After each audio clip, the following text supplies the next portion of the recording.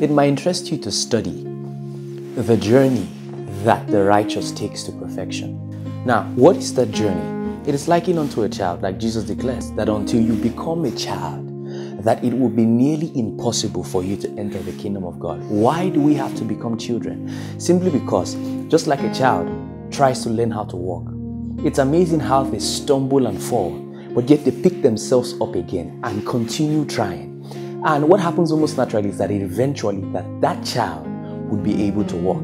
And this is the same thing that happens with a righteous man in the way of the righteous. Now, the just man falls seven times, but he gets up every time or eight times, depending on your translation. But then, what you find in the path is that what makes that man just or what makes him righteous is not the fact that he does not fall, but because that every time he falls, there is an agency that is available for him to get up every time. So, therefore, what makes the righteous righteous is not in the action they exhibit in the now, but in the way that they have chosen to live. The fact that you find yourself every now and then living less accurately that Christ had already proposed for you to do, that does not necessarily mean that you are not just or you are not righteous. Because even while we're yet sinners, the Bible declares that Christ died, but then in the pathway to becoming like him in the exact imprint and his exact image that he is, we would definitely fall here and there. That's why the agency of mercy has been made available by God